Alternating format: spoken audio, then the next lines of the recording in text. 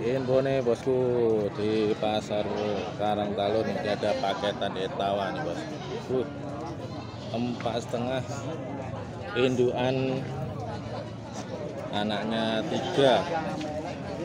Anaknya tiga ini bos. Lempet lempet. Ini empat setengah. Oh babonnya laktasi dua ini bos. Nah ini kurang terawat di miliknya Mas Agung jantannya dua betinanya satu. Wah, telingannya lempet semua ini. Wah, mantap mantap. Empat setengah masih ekonomis bos. Tawa tawa nih. Kalau ini agak lebih murah kalau di daerah sini kalau Jerabang itu lebih mahal bos. Wow mantap mantap. Tuh babonnya kurang terawat ini anaknya tiga.